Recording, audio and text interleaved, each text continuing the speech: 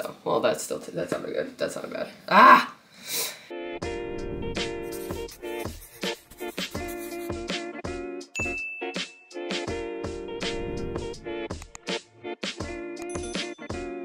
Everyone and welcome to my channel. I'm Nikki and today's video is going to be a fun one for me. I'm just going to be filming a few different days, different meals that we make, but what I'm going to be doing is recreating some of our favorite like takeout meals or from restaurants. So for example, tonight I'm going to be making Chipotle bowls at home and I'm actually going to make the same mild and corn salsa that they have and so that's like the best part about making it at home is that you have the extra salsa and it's so good. So we're going to go ahead and do that tonight and then I'll be making a couple other meals from restaurants that we like as well. So if you enjoyed this video, please go ahead and give it a like and subscribe to my channel and let's just get started making some Chipotle bowls. Okay, so I've actually shown the pico de gallo on my channel before, but I'm just gonna quickly make it. So what I'm using, I have three Roma tomatoes, a red onion, some cilantro, which I'm also gonna use for the corn salsa, and then lime juice, and then I always use jalapenos, but we are out and I'm not running to the store right now. So we're just gonna use diced green chilies today and then use some of this garlic jalapeno seasoning. So it's kind of makeshift, but it'll still be really good.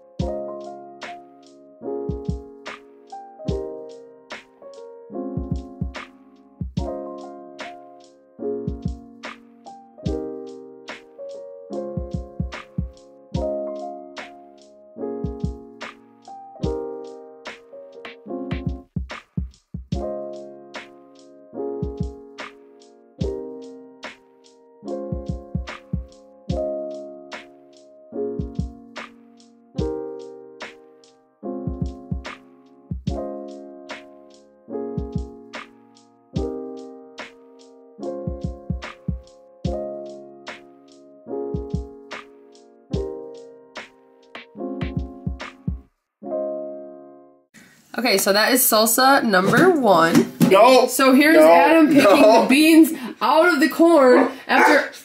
Stop. Thank you, Pluto. After I told him how many times that they were going to be strained separately, but he still decided to combine them. So now Adam's picking pinto beans out of two cans of corn so that I can make my salsa and then the beans separate for the recipe.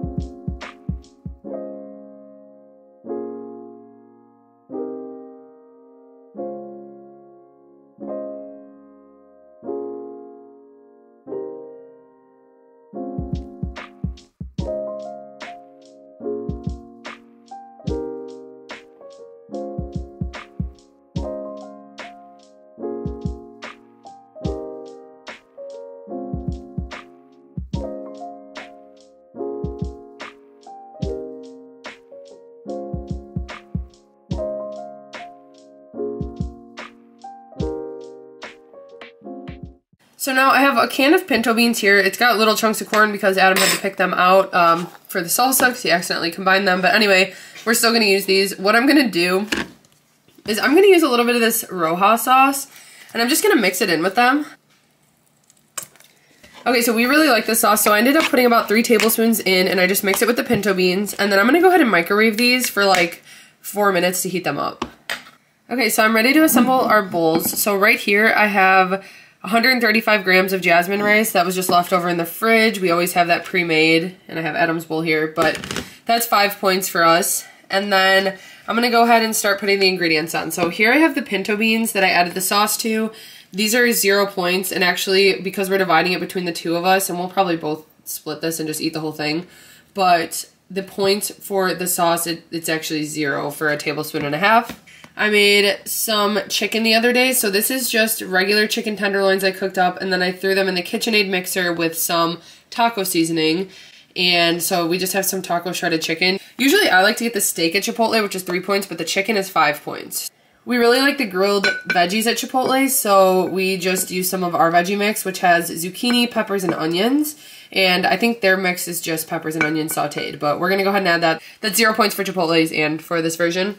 I'm gonna go ahead and use some of this light Mexican blend cheese from Trader Joe's. We're gonna use 20 grams, which is two points for us. And then the serving of cheese you get at Chipotle is four points. Then I went ahead and chopped up some romaine lettuce, same as Chipotle's, zero points. And actually if I use a cup, I mean, combined with the veggies, it'll probably end up being a point earned back with the lettuce and then the veggies. Then I'm gonna use some light sour cream. It's gonna be two points for two tablespoons or one tablespoon is one point. I don't know how much I'm gonna use yet. Uh, but the serving of sour cream at Chipotle is six points. Then I have my corn salsa made, which is now actually two points at Chipotle, and it's actually two points here as well. The corn is now points for us. So if corn is one of your zero point foods, it'd be zero. And then this is our mild salsa, so this is zero points. Also zero at Chipotle. So I'm gonna go ahead and assemble the bowl.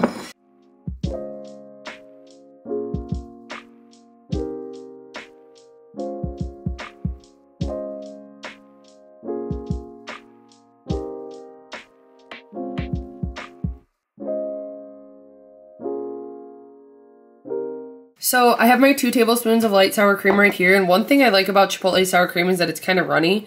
And I also like lime with mine. So I just put a little bit of lime in here, lime juice. So then it's like a lime sour cream.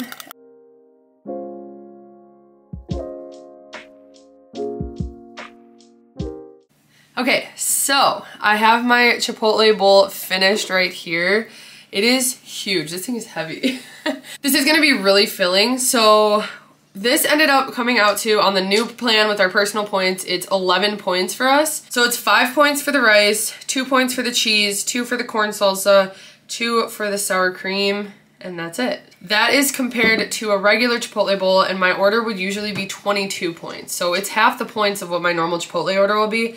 And honestly, this is so much more satisfying and filling and Chipotle doesn't usually make me feel sick, but sometimes it does. Sometimes the chicken's a little iffy. But with this, I always know that I'm gonna feel good after eating it, and I feel nourished, honestly, after eating meals like this. So we're gonna go ahead and enjoy our Chipotle bowls now, and then we'll be making a new recipe tomorrow. Okay, so next I'm gonna show you guys another meal that I like to make that's a kind of copycat of one of our favorite restaurants in the area. So this is a Thai restaurant that we love to go to and I get the same thing every single time we go there. I've tried a couple other dishes, but I get the same thing now every time. I try to look at other things and I always go back to this because it's just my favorite dish. And it's just so good and we don't have it that often, but the one thing about it is that it is a little bit greasy and so it does make me feel kind of sick the next day. And so being able to remake it at home, something super similar, is so good. What I'm using today, I have these Thai wheat noodles from Trader Joe's. So the box comes with three packets. I'm gonna be using two of them today. So two of them together is 17 points. And this meal is gonna make four servings. So I got these at Trader Joe's. Like I said, they're just like a stir fry type noodle but yeah, just any type of like noodle that you want to use for this dish will work. Really, if you could find any type of noodle like this, but this has been my favorite that I've found. Um, I haven't tested out many others, so we just really like these though. So what I'm gonna do is I have some shrimp here. I'm probably gonna use about half this bag and I'm just gonna start it thawing. And then in a pan, I'm gonna put a tablespoon of this toasted sesame oil. This stuff is so flavorful and so good for Asian dishes. So I'm gonna use a tablespoon to start cooking and I'm gonna chop up this orange bell pepper. Last time I used a red bell pepper, but orange will work fine. I'm gonna do that and then I'm gonna go ahead and add in some edamame. This is just the Trader Joe's, it's frozen, uh, shelled edamame. So I'm gonna measure that out and see how much I use. Then I just get a bag of this coleslaw mix. So any type of coleslaw mix will work. Uh, specifically, I like to get the green cabbage and red cabbage with carrots in it because that's exactly what vegetables are in the dish that I order from the restaurant. Then I have this big thing of crab, so I'm going to weigh out the amount I'm going to be using. It's just some imitation crab and then sauce I'm going to be making using some rice vinegar, which I need to get more of this, some low sodium soy sauce, and then more of that toasted sesame oil. I'm going to go ahead and cook up the veggies add in the crab and shrimp, and then the last thing I'll add is the noodles, and you just cook them for a couple minutes, add in the sauce, and that's pretty much it. So uh, let's go ahead and get started.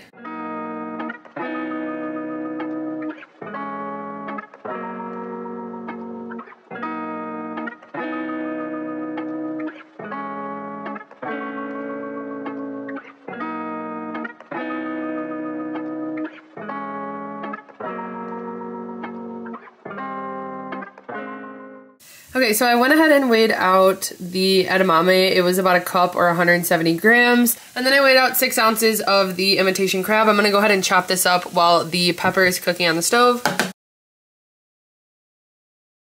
So after I cooked the peppers for like five minutes, I went ahead and added the edamame in, and now I'm gonna go ahead and add the bag of coleslaw. So I went ahead and dumped the entire bag of coleslaw in here. I feel like this bag might have been bigger than last time I made it, but it's still going to work. We like the cabbage a lot, so it'll be good. But I'm going to let this cook for a few minutes and then add in the shrimp. I'm going to peel the tails off the shrimp really quick, and then I'll throw that in here with the crab and the sauce. Okay, so I put in the rice wine vinegar, and that's about two teaspoons. Usually I put a little bit more, but I ran out. Then I'm putting a tablespoon of the toasted sesame oil. And I don't usually measure the soy sauce, but usually it's, it's probably like three tablespoons that I put in there.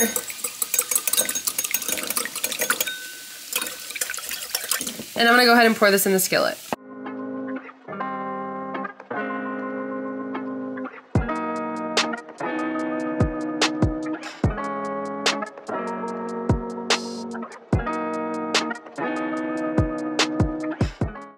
Also going to add in two tablespoons of this mandarin teriyaki sauce from Panda Express.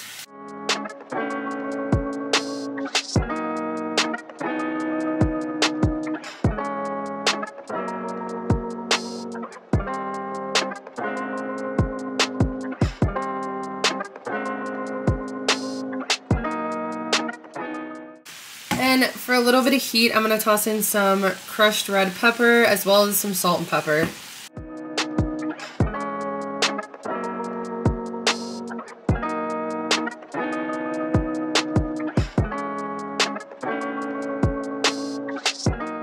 Okay, so here is my finished dish. This is actually a really good amount of food, and I went ahead and I just evenly distribute it between my bowl, Adam's bowl, and then two takeout containers for leftovers. So, so this ended up being a 10 point serving for each of us. Uh, we did it in the recipe builder and it was 40 points divided by four servings, so it's a 10 point serving. So really such a better option. It's not gonna make me feel like blah like the one I order from the Thai restaurant is, even though I love it and it's good to have every once in a while the oil really is a lot and it really doesn't make me feel great. So this really does make me feel fine after. I feel nourished. I feel like I got a really good amount of veggies. There's a lot of cabbage, the edamame, the carrots, and the pepper. So it's just a really good option and it's also a lot cheaper to make at home. So that is another one of my favorite recipes to make at home that's like a copycat restaurant recipe.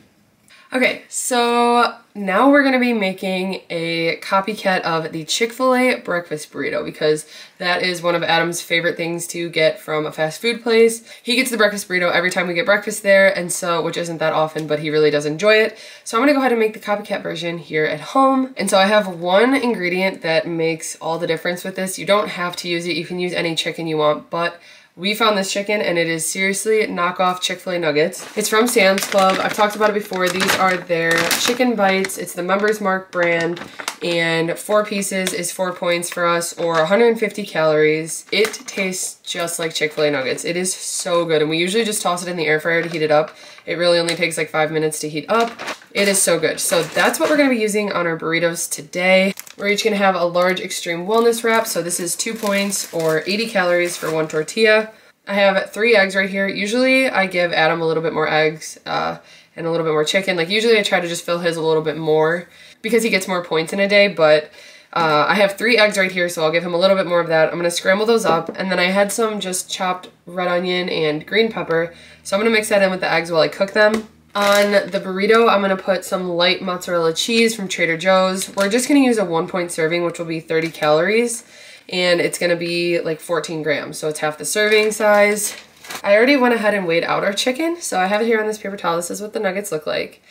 And we just did the most we could do for three points, which is 68 grams, which is gonna be the perfect amount on our burrito. So in total, the burrito is gonna come out to only six points for us. We'll have the tortilla, I'll put the light mozzarella cheese, the scrambled egg with the pepper and onion in it, then we'll put the chicken, and then I also diced up, I had just one small potato left, and so there's hash browns on the Chick-fil-A version, but I just cut up a small potato and I cooked it in the microwave for like three minutes. That just helps it get softer because then I'm gonna go ahead and throw it in the air fryer right now with the chicken. So I'm gonna cook the chicken and the potatoes together and then we'll just be able to assemble the burrito after the eggs are made. But I'm gonna go ahead and put some seasoning on these potatoes. So I'm gonna use some of this garlic, herb, and black pepper and sea salt seasoning. And I'm just gonna, I already sprayed this with a little bit of olive oil spray, so I'm gonna go ahead and spray, so I'm gonna go ahead and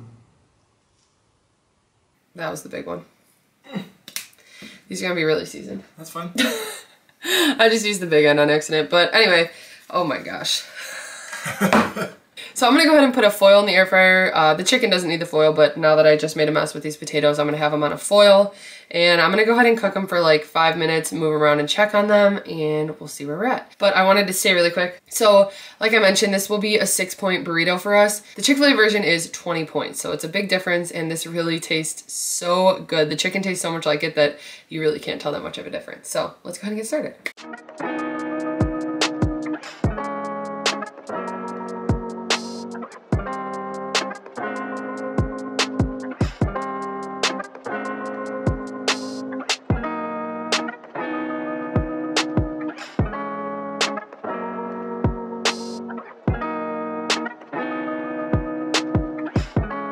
Okay, so I went ahead and put the cheese that I weighed out, the cooked eggs with the peppers and onions, then the potatoes were in the air fryer. I had them at 400 for about seven minutes, same with the chicken, and this is my finished burrito. So I'm gonna go ahead and wrap it up, and then I throw it in the air fryer for like five more minutes just because we like it a little bit crunchy on the outside, and then we'll dip it in some hot sauce.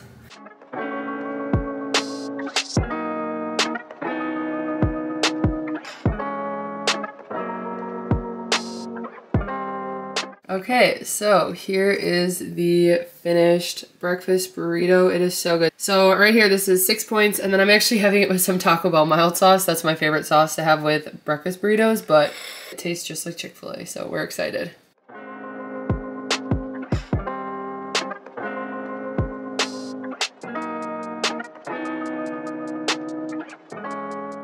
Okay, so here is my burrito. We're about to have our breakfast right now. I'm so excited. But that wraps up our video for today. So I hope you guys found this video helpful or interesting. We, before we started our journey, we used to eat out all the time. We have favorite meals at every restaurant around here. And to be able to make these healthy alternatives at home helps us so much on our journey because it really does satisfy those cravings. We try to get it as close to those meals as possible. And it doesn't make us feel like garbage after like we do sometimes if we eat out or have fast food or have something like super greasy because we're not really used to having that much grease anymore. So this is such a good healthy alternative that really satisfies those cravings, like I said. It's really fun to kind of get creative and use some similar ingredients, but then use like our low carb tortillas that we like to use and like our light cheese that we always like to use. So it's easy to kind of mix in those different ingredients while still having something that tastes really good. So yeah, I hope you guys found this video helpful. If you want to see this again, we make a bunch of different meals that are copycats of restaurant meals or fast food meals at home. So if you guys want to see more of these, go ahead and let us know down below and we appreciate you guys watching. So we'll see you next time.